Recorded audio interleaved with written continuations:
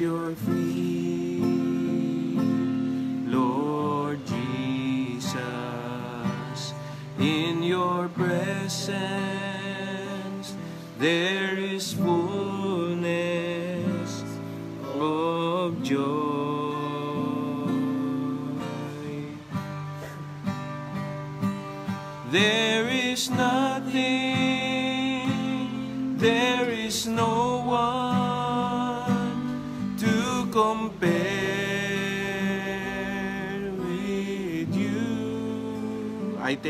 pleasure, I take pleasure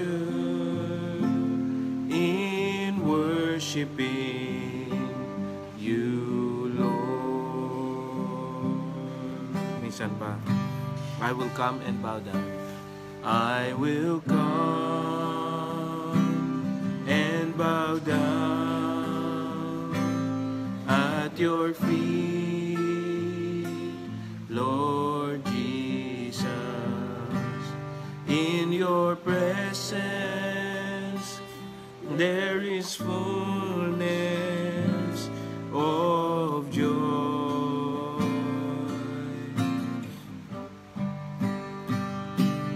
There is nothing, there is no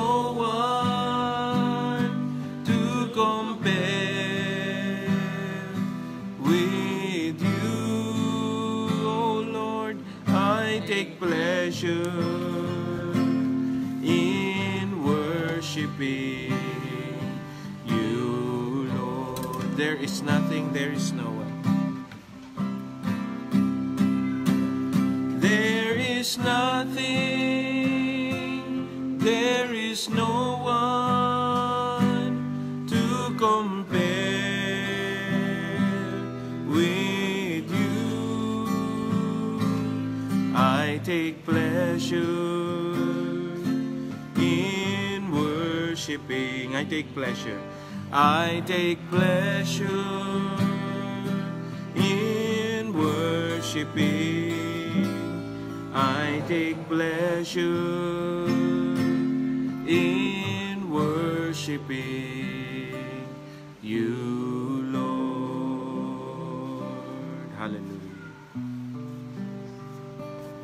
Wala po kayong katulad, Panginoon. Walang kukumpara sa inyo, O Diyos. Purihin ang inyong pangalan. Napakabuti niyo po, O Diyos. Kay dakila at matuwid, Salamat po, Panginoon. Lord, sa bawat araw, hinihiling po namin na ang inyong presensya ay nasa sa amin. Lalo na po sa mga mahihirap na sitwasyon na dalangin ko na maging malapit, Panginoon, kayo sa inyong mga anak. Kung papaano ang Espiritu ninyo ay naninirahan sa amin, hayaan niyo po, Panginoon, na maramdaman nila, Panginoon, maging conscious sila na kayo ay naririyan, O Diyos. Salamat po sa inyo, Panginoon. Salamat po, O Diyos. Ama, nadalangin namin ang pag-aaral namin ng inyong mga salita sa umagang ito. Samahan niyo nga po kami at ang inyong banal na Espiritu po ang gumabay sa amin.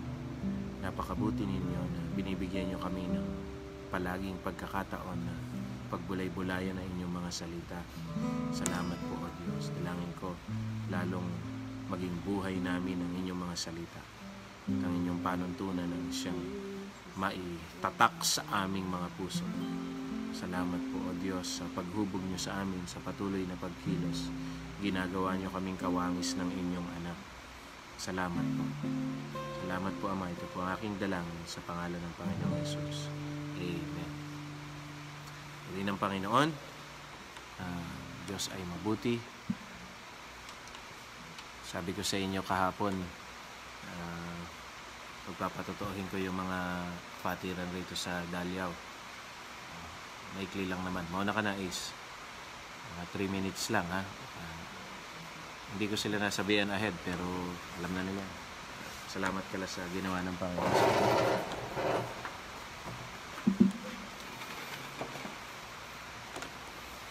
Ano umaga po? Lakasan mo. Magandang umaga po sa lahat. Nga po pala si Sir Ace. Papasalamat po ako sa Panginoon sa ginawa niya po sa aking buhay dahil Kahit na hindi po ako katiwa-tiwala ay nagkaroon po ng pagkakataon na ako ay pinagkatiwalaan niya. Salamat po ako sa lahat sa ginawa po ng kabutihan sa akin ng Panginoon dahil nagkaroon po ng direksyon ng buhay ko na hindi ko po akalain na dito po sa Taiwan ay magkakaroon po ng magandang liwanag ng aking buhay na sa kabila po ng aking nagawang mga pagkakamali ay nagkaroon po ng kapatawaran ng lahat. Salamat po ako sa Panginoon dahil ako po ay binago niya. Ngayon po ay binigyan niya po ako ng higit na liwanag ng aking buhay. Ako po yung pinagkatiwalaan niya ngayon ng bagong buhay na ako po binigyan niya bilang tagapanguna. At kahit po hindi po ako dapat pagkatiwalaan, ako po yung pinagkatiwalaan niya. Maraming salamat po sa Diyos Pampapuri.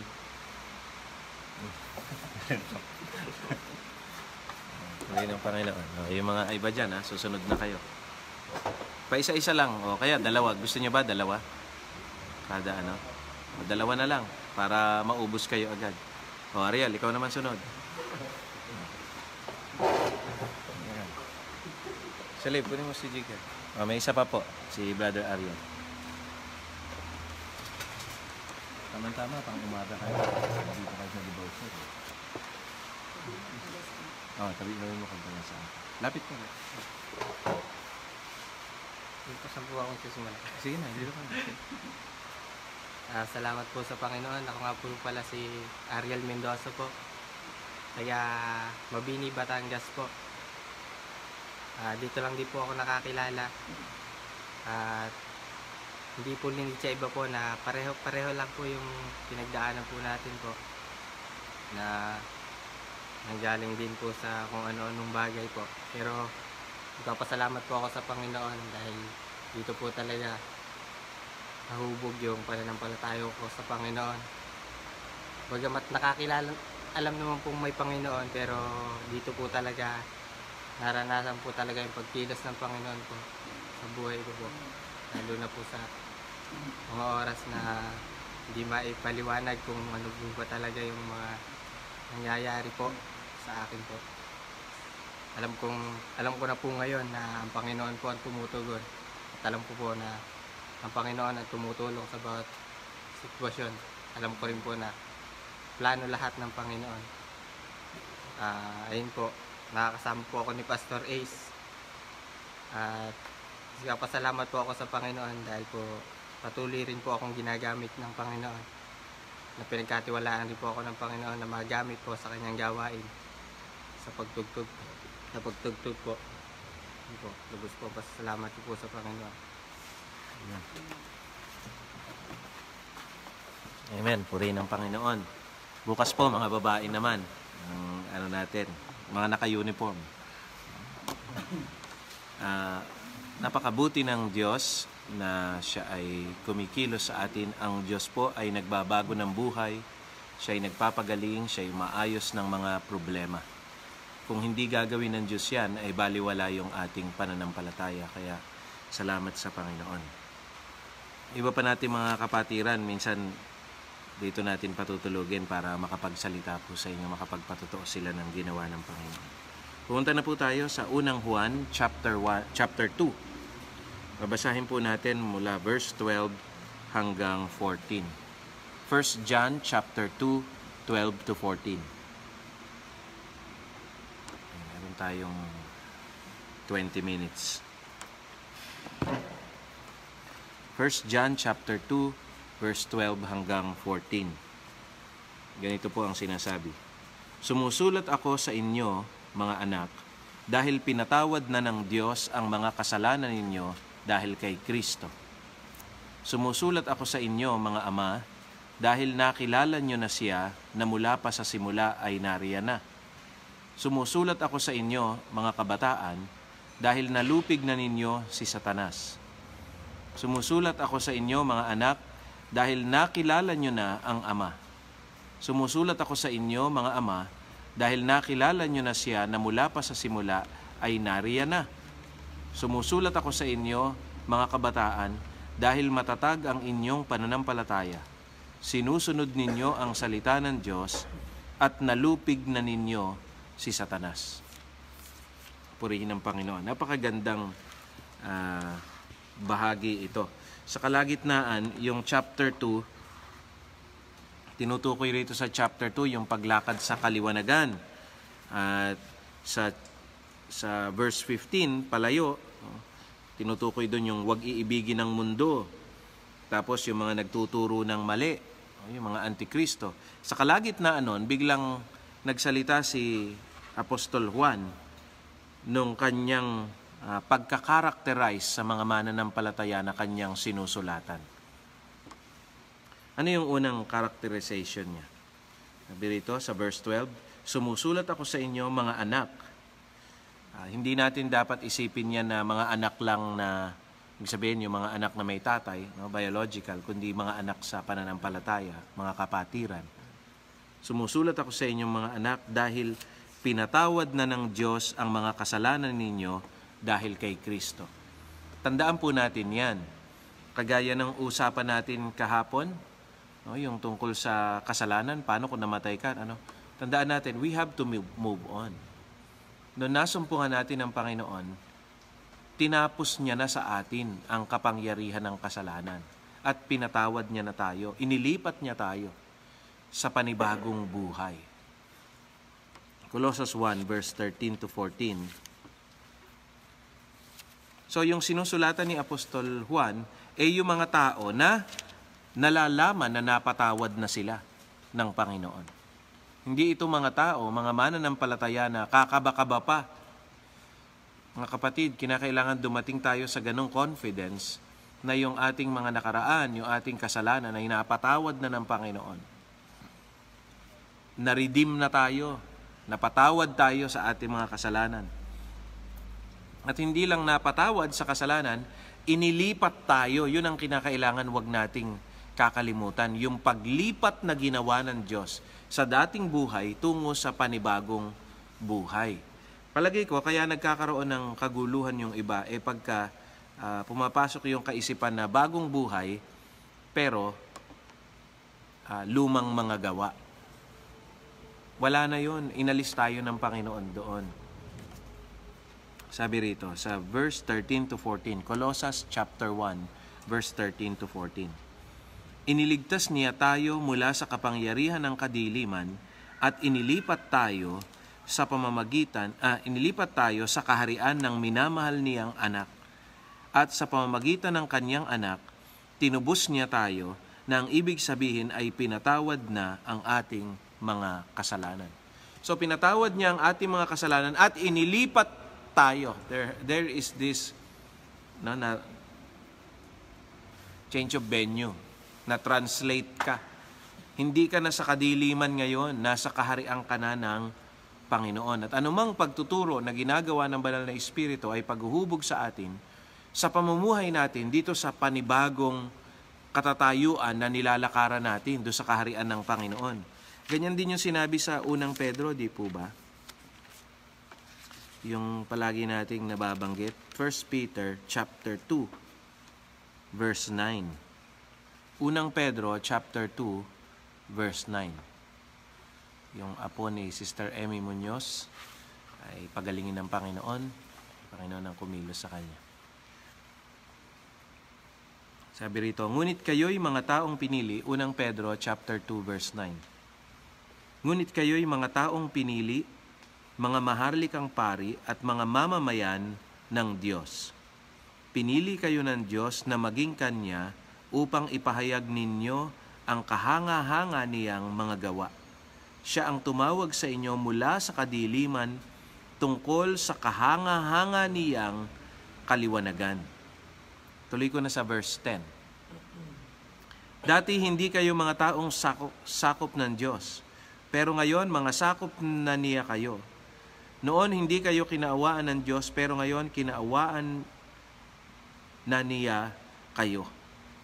Inilipat niya na tayo, ano sabi? Mula sa kadiliman tungo sa kaha, ano? kahanga-hanga niyang kaliwanagan. Our goal before, nung wala pa tayo sa Panginoon, eh kung ano man yun nasa isip at puso natin, Pero ngayon, ang layunin na natin bilang mga anak ng Diyos ay ano po? Nasabi sa verse 9? Ah, pinili kayo ng Diyos na maging Kanya upang ipahayag ninyo ang kahanga-hanga niyang mga gawa.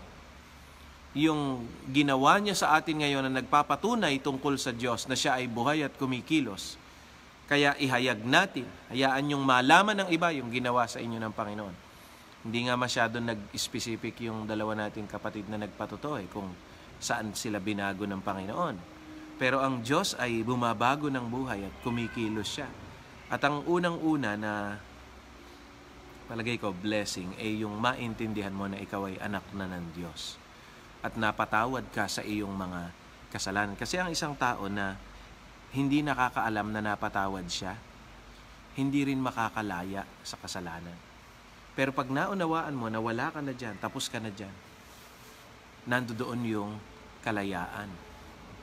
Okay, tuloy po tayo do sa ating pag-aaral. Sa verse 13, balik tayo sa 1 John chapter 2, verse 13. Sumusulat ako sa inyo mga ama, dahil kilala nyo na siya na mula pa sa simulay naririyan na. Doon tayo.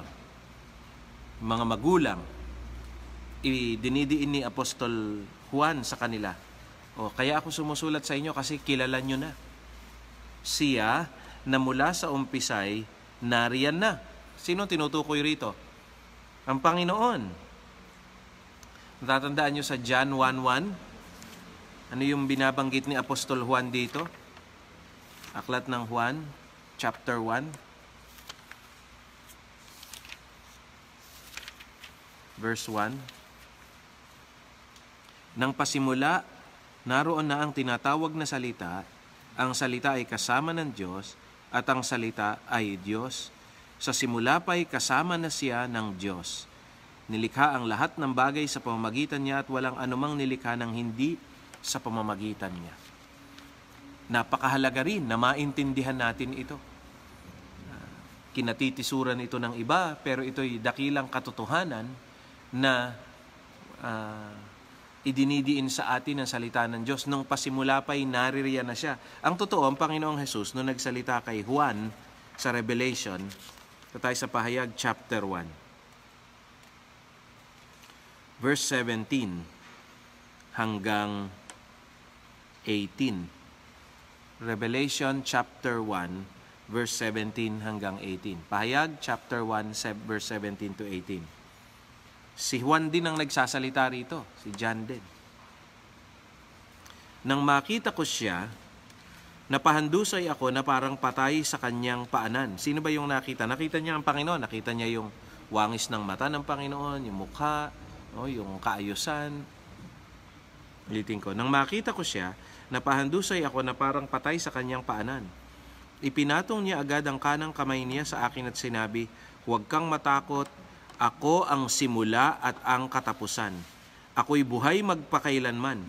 Namatay ako, pero masdan mo, buhay ako at hindi na muling mamamatay, nasa ilalim ng aking kapangyarihan ng kamatayan at ang lugar ng mga patay. Ano ang pagkaka uh, pakilala ng Panginoon tungkol sa kanyang sarili? Ako ang simula at ang katapusan. The Alpha and the Omega. Now, tandaan natin, maturity sa Panginoon ay makilala natin na ang Panginoong Jesus ay naroroon na talaga mula sa umpisa.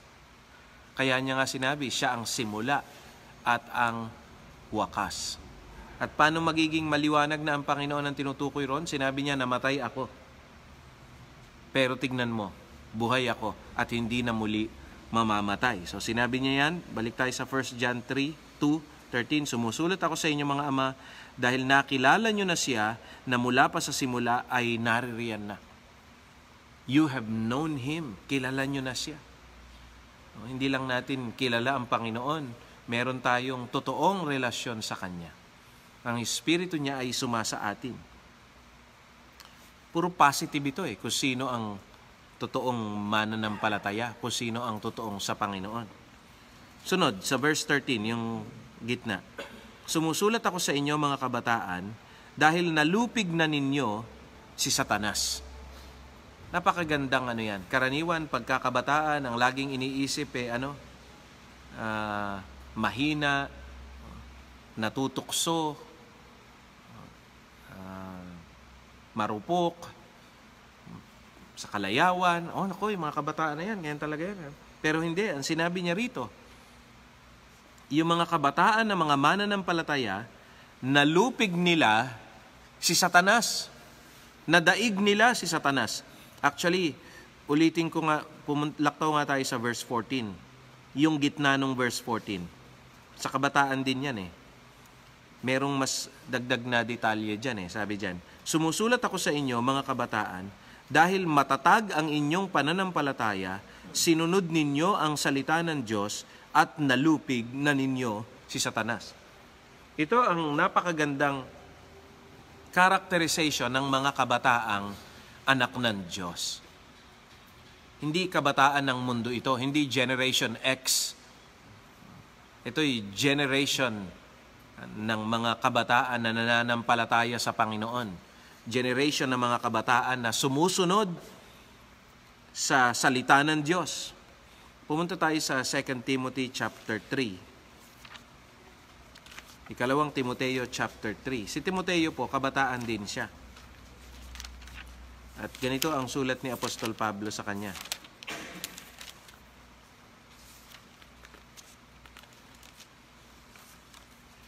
Ikalawang Timoteo chapter 3. Ah, uh, saan natin basahin sa ano? 12.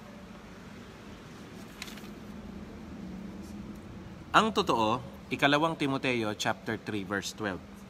Sabi rito, ang totoo, lahat ng nagnanais mamuhay ng matuwid bilang tagasunod ni Kristo Jesus ay daranas ng pag-uusig. Tandaan ninyo, mga kabataan po ito ha, si Timothy. Ang masasama at manlilin lang na may lalo pang sasama at patuloy na manlilin lang. Maging sila mismo ay malilin lang. Important to note, yung mga wala sa Panginoon at masasama, magpapatuloy sila sa kanilang ginagawa. Pasama ng pasama yan. At manlilin lang at madadaya rin sila. Ngunit ikaw, magpatuloy ka sa mga bagay na natutunan mo at pinanaligan dahil alam mo kung kanino mo ito natutunan. Mula pa sa pagkabata, alam mo na ang banal na kasulatan na nakapagbibigay sa iyo ng karunungan tungo sa kaligtasan sa pamamagitan ng pananampalataya kay Kristo Jesus, yung salita ng Diyos sabi ni Pablo kay Timoteo, alam mo yan.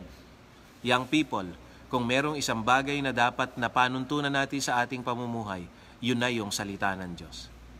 Hindi sarili nating gusto, hindi yung sinasabi ng barkada, hindi yung napapanood natin, kundi yung ano, katotohanan na binabanggit sa salita ng Diyos. Verse 15, tignan ninyo ha.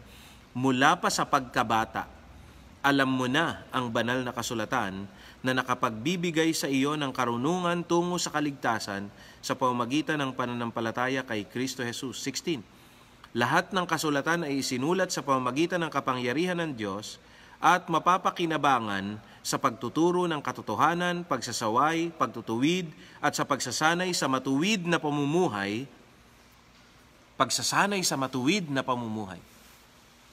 Loobin ng Panginoon ng mga kabataang Kristiyano ay hindi laging nakatutok sa cellphone sa paglalaro. Yung mga walang katapusang patayan sa cellphone. Minsan kahit matatanda na, mga magulang na, naglalaro pa rin ng mga patayan. Wala namang naitutulong sa atin. Minsan gumagasta tayo ng pera, di ba? Gumagasta ng pera doon.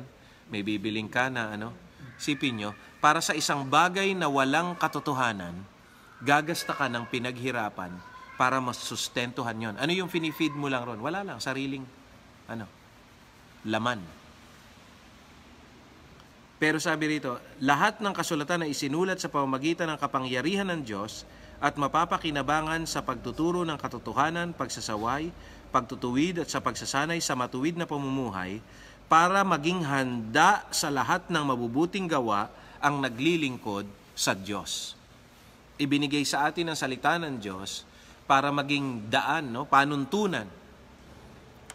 Ito ang pinaka-guidebook natin, yung salita ng Diyos. At sinasabi yan sa isang kabataan. Oh, Timoteo, alam mo na. Huwag kang gagalit sa mga yan. Yung salita ng Diyos, panatiliin mo. At si Juan, ganon yung klase ng mga kabataan na sinusulatan niya, sinasabi niya.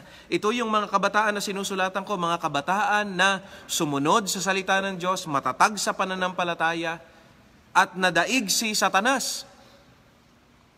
Sino sa inyo nagnanasa lahat ng kabataan sa mga church natin ganyan?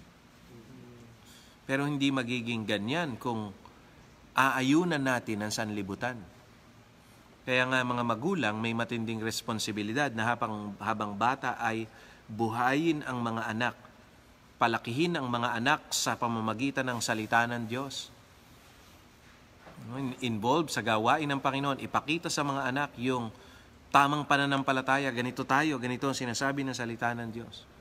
Sabi sa Psalms 119, Salmo, Aklat ng mga awit 119, verse 11. Psalms 119. Yung pinakamahabang kapitulo sa Biblia. Sabi rito. Psalms 119 verse 11. Ang salita nyo ay iningatan ko sa aking puso upang hindi ako magkasala sa inyo. Thy word have I hid in my heart, that I will not sin against thee. Ibin inilagay ko, iningatan ko. Pagka ang iniingatan mo yung salita ng Diyos, anything that is inconsistent sa salita ng Diyos, lalayuan. Pagka naman ang pinapahalagahan mo, pagka naman ang pinapahalagahan mo ay sarili mo, yung tingin sa iyo ng mga tao, sarili mong damdamin o ang mundo, Pagka hindi ka pareho ng sa mundo, anuhan mo, ang gagawin mo, yun nasa salita ng Diyos, pipilitin mo mag-conform dun sa ninanasa mo. Huwag, mga kapatid. Ano yung sabi sa ano? Yung binanggit rin ni Pastor Bimbo sa 4 verse 12 ng Timoteo. Unang Timoteo chapter 4 verse 12.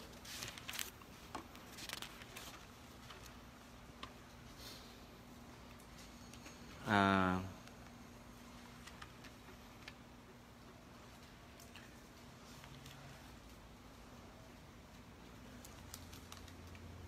gusto ko sana basahin mula ano eh verse 6 eh.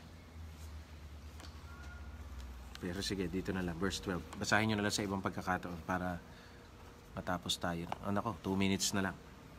Babatiin na ako ni ate Aning ng ano unlimited blessing. Uh, verse 12, sabi rito, Huwag mong hayaang hamakin kanino man dahil sa iyong kabataan. Sa halip, maging halimbawa ka sa mga mananampalataya sa iyong pananalita, pag-uugali, pag-ibig, pananampalataya at malinis na pamumuhay. Habang wala ako, pa ako, oh, na lang. Tingnan ninyo ito, dumarating hanggang sa punto na yung kabataan na si Timoteo ay inaatasan na maging halimbawa ilang araw ko na itong nababanggit ha. Dati pa, kila sa inyo, Pastor Jasil, nababanggit ko na ito eh. Na yung mga kabataang kristyano ay hindi simbolo ng kahinaan. Hindi simbolo ng kalayawan. Yung mga kabataang kristyano ay inaatasan na maging halimbawa sa mga mananampalataya. Saan magiging halimbawa? Sa uh, pananalita, pag-uugali, pag-ibig, pananampalataya, malinis na pamumuhay.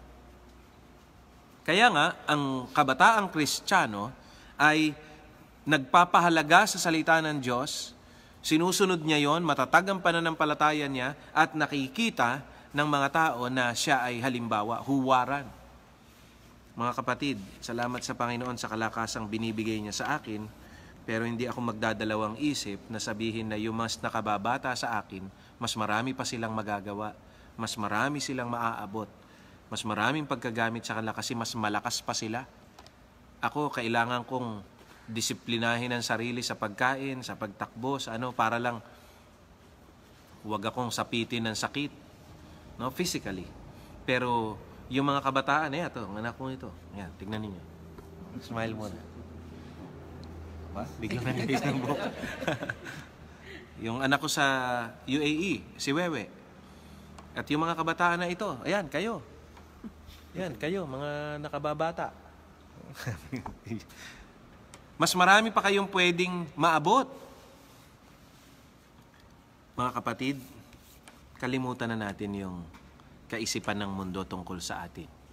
Lahat ng young people na nanonood ngayon, ikaw, Jamaica Ira Pineda, kayo ng boyfriend mo, hindi ko nasasabihin kung sino, lagi niyong i-declare yan. Ganito ako, ito ang sinasabi ng Biblia tungkol sa akin, pananatilihin ko yung salita ng Diyos sa aking puso, yun ang pahahalagahan ko.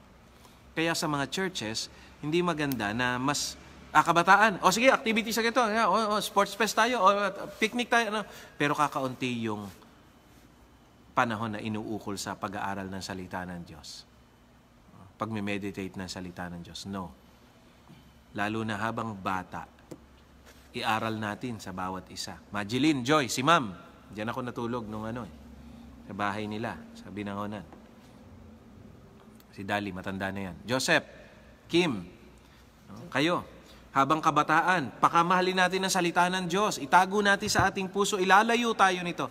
Whatever you value, kung itong pinahahalagahan mo yung salita ng Diyos, ilalayo ka nito sa impluensya ng mundo. Amen?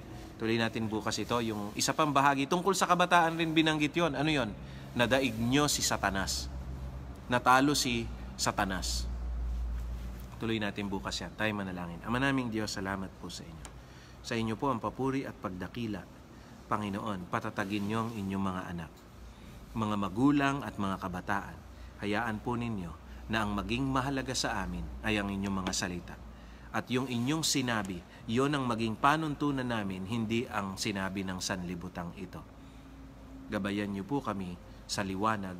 Gabayan niyo kami sa pagkatawag na ginawa ninyo sa amin. At lagi naming maalala, inil- inalis niyo na kami sa kadiliman at inilipat niyo kami sa inyong kahangahangang kaliwanagan sa kaharian ng inyong anak. Salamat po sa inyo, Ama. Pinupuri namin kayo. Basbasan niyo nga po ang bawat isa sa araw na ito, sa lahat ng kanilang hinaharap at sa lahat ng kanilang gagawin. Sa inyo po ang papuri, tutulungan niyo yung kinakailangan magpasya.